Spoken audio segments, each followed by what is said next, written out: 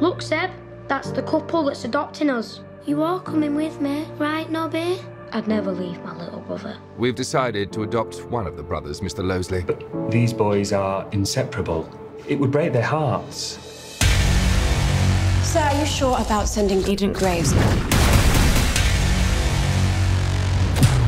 He's the best I ever trained. For 28 years, I've been searching for my baby brother. You haven't seen anyone who looks like this. I hope I don't, I don't die before I get old. We finally found your brother. He's gonna be at this posh event tomorrow. Eyes on the target.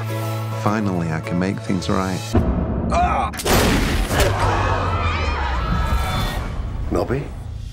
Oh my god. Because of you, my shot was compromised. A huge manhunt to find the rogue secret agent. How can I help? Stay away from me.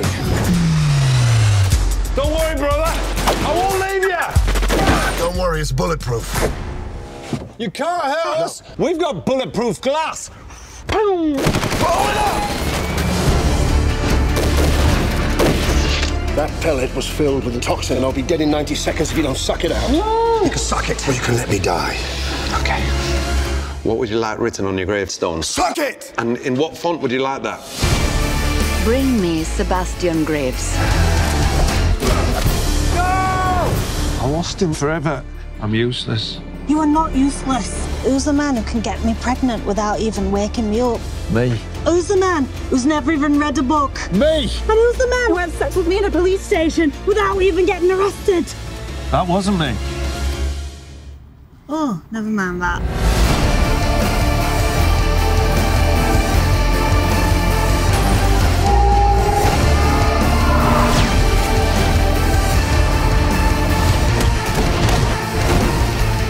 You don't have guts. I disagree. Ukrainian Ben Affleck. Oh, Lowry's, eh? I understand why you love guns so much. I mean, it completely detaches you from the guilt of your actions. Will you stop shooting everything?